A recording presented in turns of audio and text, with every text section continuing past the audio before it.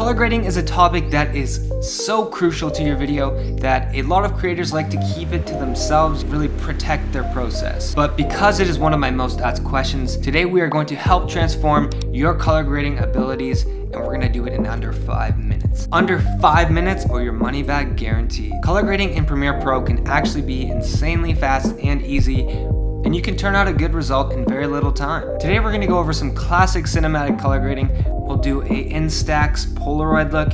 We can do like a Fujifilm retro look, the orange and teal, and because drone cameras have come such a long way in terms of quality, debatably competing with DSLRs at this point, we will grade a shot from my DJI drone. As a bonus for watching all the way to the end, and because I love you so much, I'm gonna teach you how to create LUTs, how to import LUTs so that you can use them over and over forever. And then at the end, I'm gonna give you some of my own LUTs that we make today for free. So here we are in Premiere Pro with a basic shot. What you really need is a handsome model for your shots if you want them to look good. You know, if you don't have one of those, make sure you DM me for rates. We're just gonna go through a basic color grading as you can see, I am in the color workspace. If you don't see these workspaces here, you just have to go up to window workspaces and click on the one. The first thing I do in any color grade is go to my curves tab. This is a very powerful lighting tool. Right here is your whites, right here is your blacks. We'll set a center point and now we've isolated our highlights and our shadows. All of our basic corrections are now right here on a single line. I like to lift my midtones because it creates a greater dynamic range. And then we pull it down into an S curve just to get some contrast. What we're gonna do is we're gonna saturate this so that we can get an idea of what colors we're working with in the scene. And then we can make more minor tweaks here. I'm just gonna adjust my white balance to offset this pink that is bouncing off my face. We're gonna go back to curves bit more contrast, some more saturation. So after we fix up the lighting of our scene, I like to move into the colors next. Thanks to the 2019 updates of Premiere Pro, we have a ton of power in our curves tab for coloring individual colors. We need to remember that with great power comes great responsibility. This is an alternative to your basic color wheels. I like to think of these as like our Lightroom slider adjustments. It's pretty brilliant because we have our eyedropper tool right here. We can go and we can pick a color that we are having an issue with. It will select that exact color. We want to be really cautious with what we're doing here. As much as it's like using the Adobe Lightroom sliders, we gotta remember that the lighting can change throughout a scene, which means the colors can change throughout a scene, and what looks good right now at this very second might not look so good in three or four seconds. So when it comes to video, I try to make the adjustments a little bit smaller than what I would on a photo, because we don't want to accidentally desaturate somebody's eye color, skin color, or mess up their hair. Don't mess up their hair. So here we have our hue versus our saturation. So if we want to get rid of this pink, we can completely desaturate it, but that might look unnatural. What we can do is come down to our hue and hue, and we're just gonna make it a little bit more orange. And then we're just gonna slightly adjust the rest of the pink and then the reds.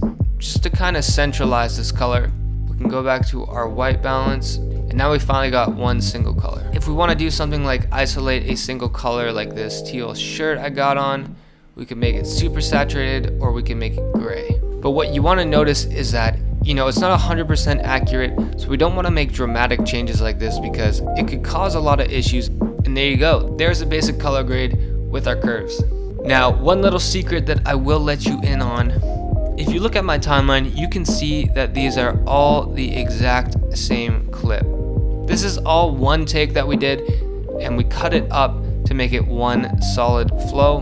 Now, if you are working with the same clip over and over and over, instead of going to your Lumetri color, copying and pasting it on everything, here, we'll just delete what we did. What you really want to do is go into this right here the master. So this is going to affect the entire clip. So any adjustments you make here are now going to be applied literally everywhere across the board. And I mean, that's very important for these sorts of situations. Our adjustments do not show up when we click on it again and we are back into this specific clip. But when we click on our master, it's right there. It was that easy. If you're kind of stuck in your color grading and you don't even know really where to start, what I typically do is go over to our creative tab and I go through the preset looks. Adobe Premiere has a ton of looks already built into it, and this can really just start your color grading experience. If we want to go with like SL big, you know, we can go in here. If you want to go for a really sunset vibe, we can go with gold heat right here. Maybe you want to adjust it, bring up the shadows, bring down the highlights a bit. It's a bit bright here. Let's go to our curves tab.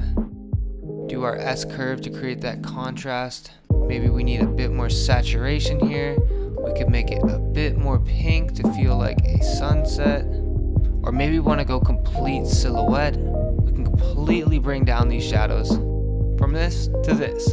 And all we did was go to our creative tab and just pick a random look that was already in Premiere Pro. Definitely take advantage of this tab if you're not really sure where to start or if you want some ideas of a type of look that you want to go with.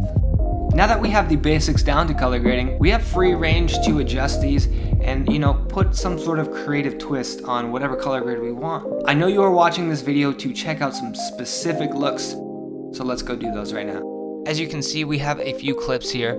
These were shot on the Sony a7 III. I tried it out on my recent trip to Guam with my friends Sam, Bryn, Ben, and Jordan. And of course, we have a drone shot from my Mavic 2 Zoom. Overall, I just can't believe the improvements to these technologies and their color grading system. What we're gonna do is we're gonna quickly learn how to do all of these color grades. We have this Polaroid look right here, our classic film look, the infamous orange and teal, and as promised, I colored a drone shot in low light for you. So, the reason why I have these on adjustment layers are just so I can do a before and after for you. I'm going to go in and I'm just going to delete the Lumetri color and we're going to do it from scratch. Awesome. So, Polaroid look. This look is inspired by, you know, the retro cameras that don't have a great dynamic range or range of color by any means, but it creates a nostalgic look for us and still has a modern twist to it.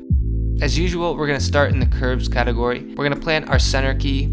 The biggest thing for the Polaroid effect is the lifted blacks that we saw. So what we want to do is take our black level right here and lift it. I know it looks kind of weird right now, but we're going to bring it back in to create this cool contrast and we already have a really cool look to it. This curves tool right here is magic, I'm telling you. So next what we want to do is go to our basic correction. You can lift the shadows a little bit, maybe push up the whites and drop the highlights. What we really want to do is just show that there's not a huge amount of dynamic range, but we want to create contrast while having lifted blacks, which is kind of contradictory. So from here, that looks really clean. We're just gonna throw on a vignette real quick. Pretty intense. Um, we're gonna feather it out. The point is on every Polaroid is that the edges are completely vignetted, so it's a real key to this look. Next, we're gonna go into our creative. They have a faded film slider right here, which is like pretty sweet. It just lifts the black channel overall for your look and is super helpful for this. What I tend to notice from Polaroids is they're not oversaturated, so we're just gonna bring the saturation down, but then we're gonna bring up the vibrance, which brings up the individually muted colors and gives us kind of a palette right there. Cool. Next thing we're gonna do is just go back to our curves and we're just gonna tweak up these colors. What we're gonna do is we're gonna take the range and kind of make it into a single color. So what I'm trying to say is all of these greens should be one teal. So what we're doing is we're just trying to create a single look from this. So now we have this beautiful teal, a little before and after. It's all one color now. And what we're gonna do is just clean up our skin tones a little bit here. And then I'm not a massive fan of yellows. I don't think they're usually captured very well. So we're just gonna desaturate those a bit. And I feel like this could use a bit more pop to it. Awesome. And there we go, our Polaroid look. Now that that is out of the way, let's get into a film look. The film look is interesting because it's essentially taking cameras from the beginning of time and then trying to modernize it without losing too much of its identity. what we want to do here is just really focus on the shadows, the vignette, and the coloring. So we're gonna create our S-curve and create that contrast right there. This look honestly doesn't take too much to it. Now what you notice in film is there's not a ton of skin tone, so we're just gonna desaturate the skin tones a little bit. Everybody kind of looks pale in film, but what we can do is we can make things like this pop and give it a modern twist. And then we're just gonna make the water feel like one sort of color and desaturate it a bit. We can come up here and bring down the highlights a bit and the black level just to add to the intensity. And then we're gonna go back to our creative tab, use our cop out faded film look a bit, bring down the saturation, up the vibrance of those few colors. And then again, vignette. This one's kind of up to you in terms of how much vignette you really want to put on it. I'm gonna be a little over dramatic just so that you can get the rough idea. Awesome, and then the key essential to this is just adding one more adjustment layer, and then we're gonna create some noise like we did in the VHS video.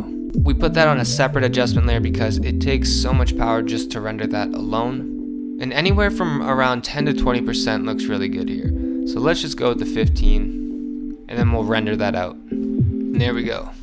A classic film look. The noise is a little intense on this one. I would honestly bring it down to 10%, but overall you get the idea. So obviously there are a lot of different types of film looks. If you watched my VHS effect video, you know we could use some more overlays on here if we want to create different noise and make it a little bit more customizable. But I'm really happy with this. I feel like this is a nice modern twist on what a film look would look like.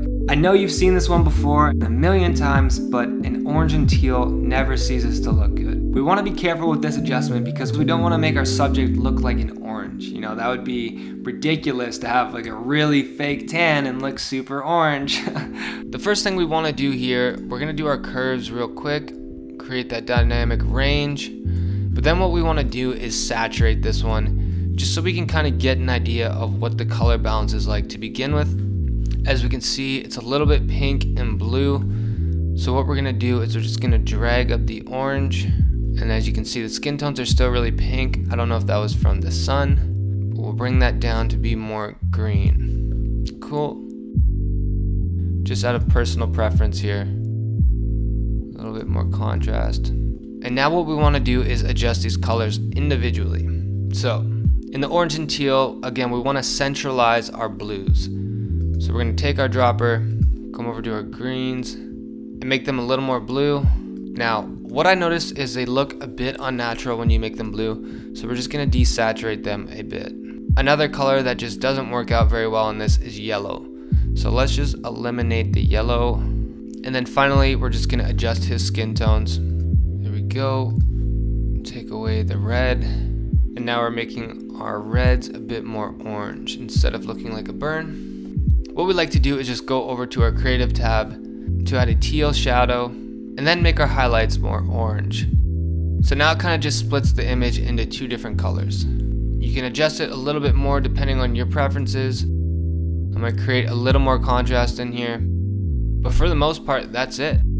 Let's render this out real quick. So I might go back and I might just desaturate these a little more. They're driving me a bit insane. So there's a rough idea of the orange and teal look. I've been really impressed with the color grading that's coming off of my DJI shots. What you want to remember is that your drone footage should still match what the rest of your footage looks like. So if you're going with an orange and teal look, you still want to make sure the drone matches that. Or if you're going with the film look, you're going to want to make sure the drone matches the film look. For the most part, there are a lot of similarities between drone shots in terms of the color depth, the contrast, and just the overall look. Now finally, what I wanted to do was show off the low light capabilities of this drone. I was absolutely blown away when I color graded this shot the first time. And I'm just gonna show you how to do it in like 10 seconds. Let's create this dramatic scene that we have over here on the drone. So dramatic scenes are typically pretty dark. What we wanna do is go to our curves tab and just really bring down the shadows and blacks. Awesome. Give it a little more contrast here. We can see a little bit of highlight peeking here, so we're just gonna bring that down and then just the whites overall. Let's check out the color we have on this clip. So as you can see, it's very yellow. And I mean, it didn't look yellow at all when we actually recorded it. I'm not sure how that got picked up. So let's just simply adjust it real quick. Give a little more highlight to the whole cloud by adjusting the overall white balance. And there we go. Our dramatic drone scene.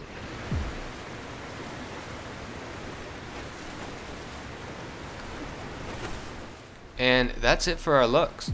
There are thousands of LUTs floating around the internet, but everybody has different settings on their camera. So I'm just gonna quickly show you how to create your own so that you can just keep reusing them with your own picture profiles.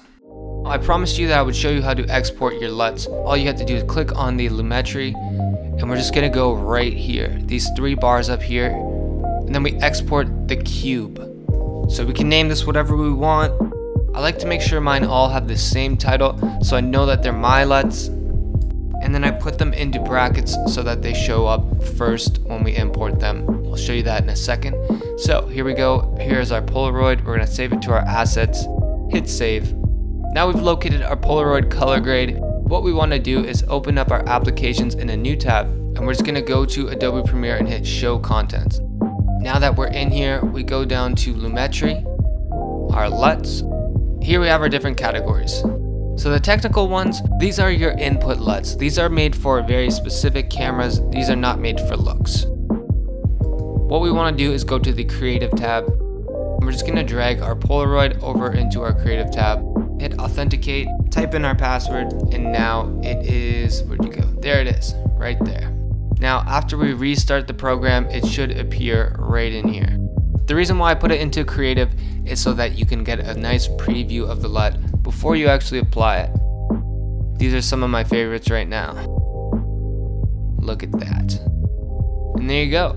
That's how you use your LUTs. If you're gonna be using LUTs, you know, typically you don't use it at 100%. I like to use mine between like 50 to 70%. You can stack LUTs and you can stack adjustment layers, but remember, Whatever is the top layer is going to adjust everything below it. So now you have a rough idea on how to color grade effectively. There's still so much to learn about color grading, but I want to at least give you a quick run through. Now I promised you free LUTs. All you have to do is click the link in the description and submit your email below if you want to get new updates like my upgraded personal LUTs, newsletters, tips and tricks on how to do better, and information on trainings. And you will get all of the LUTs that we made today for free. If you'd like a more in-depth understanding of color grading, how to adjust for different times of day and lighting situations, different equipment you can use to get a better picture, how to adjust your camera and use different techniques, color theory, color palettes, color wheels, you know, complementary colors, all that and more. I'm sure I've already mentioned my class, but we will be going through a full in-depth analysis on how to get you the best color grading possible every single time. Thanks for watching. Tune in next week where we learn how to fly.